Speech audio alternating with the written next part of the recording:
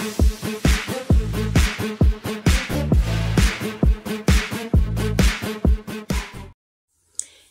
everyone, this is Angela from State of Puzzling.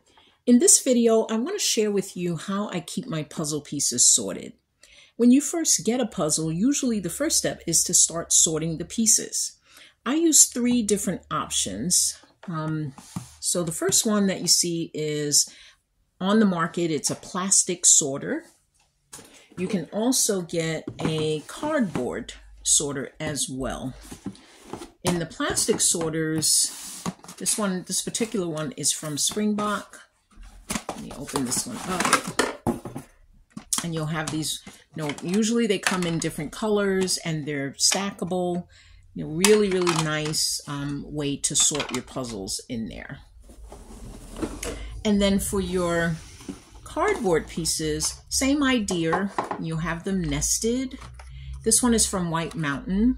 Um, the prices on these are very reasonable, about $20. You can get um, various sales on them. Wait, wait for a sale, and then you can pick these up. I think these are really nice commercial options for sorting your pieces.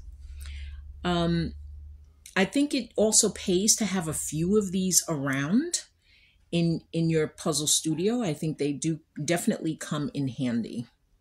One of the things that I don't like about them um, is when you are sorting a puzzle, you basically are tying up that puzzle sorter. So you can no longer use it, right, until you are until you have completed the puzzle. Um, and so that's kind of a downside. One of the other downsides that I find with any of these um, puzzle sorters is that um, once you have your puzzle pieces in here, when you're actually doing the puzzle, you'd have to store the poster or the puzzle box so that you can actually do the puzzle. So for example, if I have, let's say I have this puzzle here and I have sorted it into my puzzle sorter, I can certainly put the pieces into the puzzle sorter. So let's say I, I have all my pieces in here and then I can pack it up really nicely, which is great. But um, in this, in some of these, like you can't put your post your poster in. You don't want want to really fold your poster, so you'd have to keep the puzzle box. So now, when I'm doing this puzzle, I have the pieces in the sorter, and then I have the box or the poster in the puzzle box and so this really gives you two boxes now to keep track of and that's one of the one of the downsides i think to using the puzzle sorters so now let me talk about some DIY options. The first DIY option that I use is Ziploc bags. I've written a blog post on the website about this, and I'll certainly put the link of it um, in the video description. But plain Ziploc bags, um, you can certainly have them. You know, I have some that are zippered. I have some that have the um, you know, the, the groove enclosure. Uh, I use small ones. I use larger ones. These are sandwich size. And then I have um, gallon size. I prefer to use the stretch options and I really like them to be clear but if they if they come colored that's fine too but you can see the stretch ones allow you to get more puzzle pieces in them so i really like the stretch options and i'll put some links in the video below but let me show you if you're using the ziplocs let me bring this other puzzle out and this is a puzzle that i'm currently working on it's from anatolian it's got 500 pieces to it so when i first got this puzzle I started to use my Ziploc option. So what I did was, is I just started to sort everything into the Ziplocs. And you can see I, I can use as many Ziplocs as I need to. I've sorted the end pieces, the color pieces, you know, just depending on what the what the actual puzzle looks like. You can kind of sort your colors, you can sort your patterns, you can certainly get your end pieces. And you can see the Ziploc bags fit very neatly back down into the puzzle box. And then that puzzle is now self-contained and whenever you want to do your puzzling, then you'll have the option to do that. Here's another puzzle that I've done that with as well. And again, what I like about the Ziploc bags is that you can use as many of them as you want to, and you can have, you know, this allows you to have as many puzzles going as you want to. I've got about nine puzzles going now, uh, various places around the house. And, um, you know, I usually will just kind of start and I have my Ziploc bag option here. The Ziploc bags, they're, you know, the cost is very minimal. They're easy to get. Um, and again, you can use as many bags as you need to. Now, I have also developed another method that I want to show you as well. And this involves the Ziploc bags, but it utilizes paper plates. And I've, I've seen people doing this on the web, and I want to show you my version of it. So I have, for this particular puzzle, I've started to use some of these paper plates. And, and well, actually, these are foam plates, but you can use paper plates as well.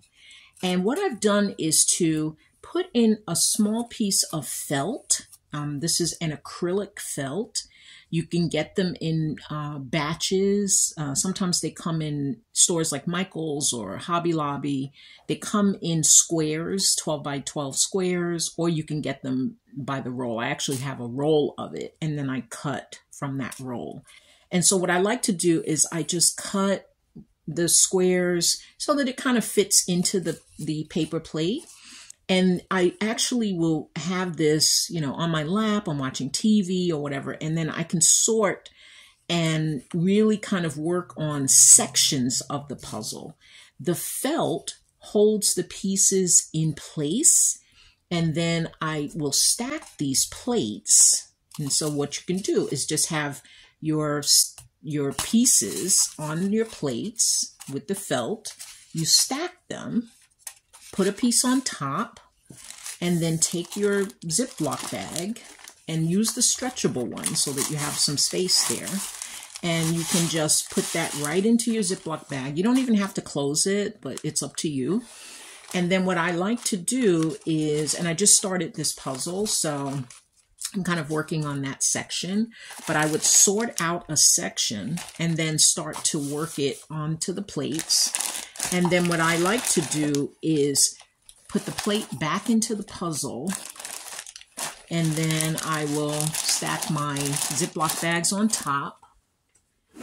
And then I just put the puzzle, I just close the puzzle top and then I'll just store that puzzle around the house. And so that's a nice um, DIY option that I found. The plates are very economical, they're stackable, and they really do help, I think, with the larger with the larger puzzles. I've seen people when they're starting to do a puzzle, they would kind of lay it out all on the table. Well, this puzzle has a thousand pieces. So if I start laying it out on a table, depending on your setup in your home, you may not have that kind of space. Um, and then remember, when you're laying it out, it takes up space on the table when you have it all spread out. So this really gives you a very portable way of doing a puzzle. You can still make progress on the puzzle.